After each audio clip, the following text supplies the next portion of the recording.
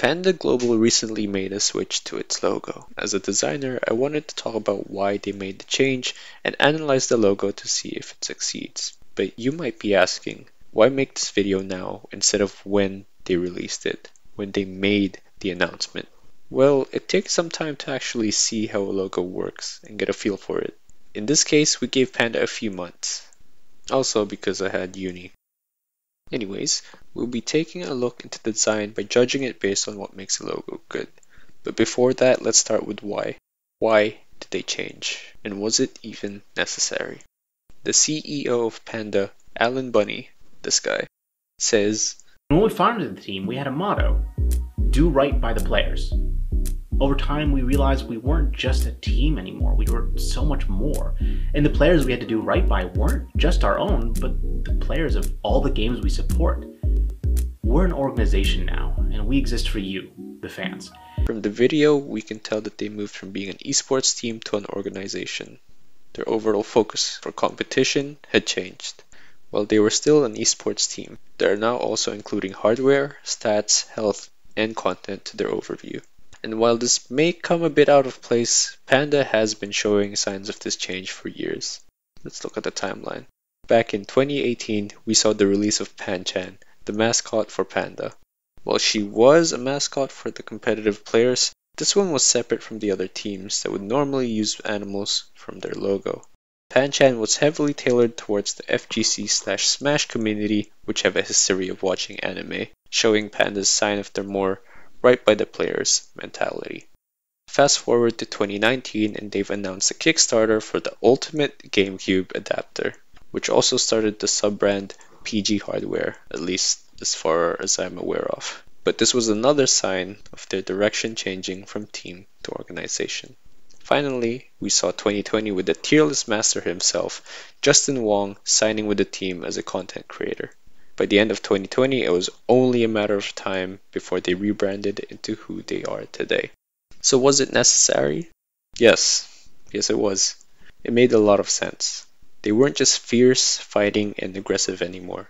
They were changing and growing their focus to be an esports organization, justifying their logo change and rebrand as a whole. They weren't just doing it out of nowhere, they were doing it already. Alright, let's talk about the logo.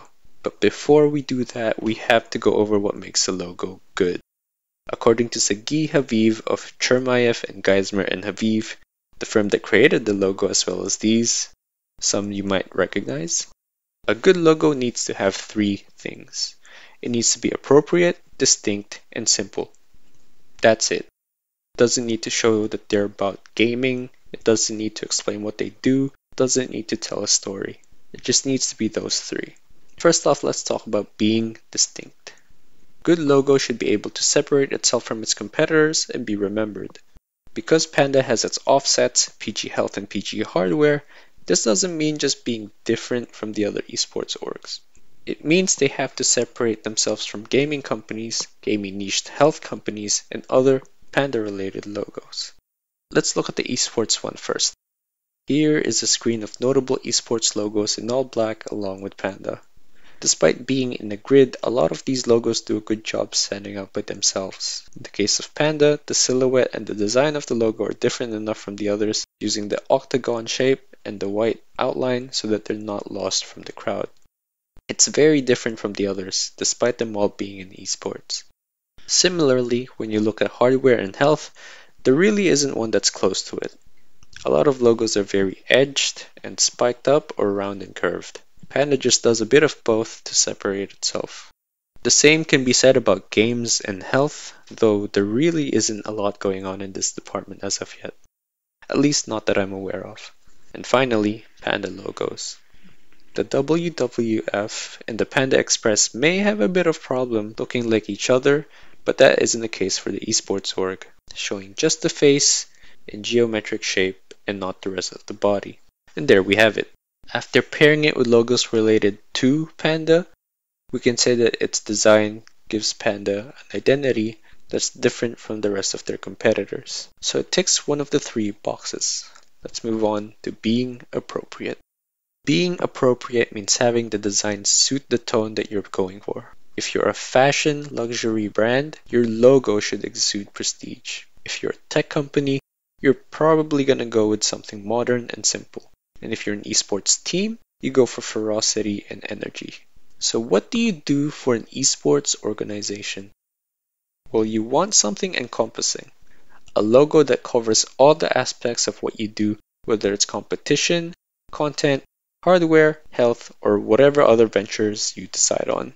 Because of Panda's hands covering everything, the tone it had to address was core gamer, having a broader tone compared to competition. From that reasoning, the new Panda logo does this successfully. It's modern and tells you it's within the tech space from the typography, and the simplicity makes it feel like an established and trusted brand. It would have been nice to see the hold forward energy being conveyed with the new design, like a hundred thieves, but it might not have been implemented because it's more of a campaign so that's probably fine. Overall, the tone is appropriate enough. It's usually much better to be focused on a single tone, but with the new direction Panda finds itself in, their new logo suits it. Alright, that's two out of the three. So let's go on to the last criteria. Simplicity. This one's fairly straightforward. A logo is simple. It doesn't need a lot of detail. And you'll see this in a lot of big companies. Apple's logo is an apple, Donald's the golden arches, and Cloud9's is a cloud with nines. Point is, it doesn't need a lot. And while being simple helps the logo be more memorable, it's also there for practical purposes. It's much easier to reproduce and a lot more accurate. A simple logo can be shrunk really small or enlarged to huge sizes as much as you want, and it would maintain all its qualities, something that a detailed logo cannot. This is something that the old logo struggled with. It looked fine and large, but it had a difficult time when you put it in a small setting. The shape is still there, but a lot of details go missing, like the fur, the eyes, or the teeth.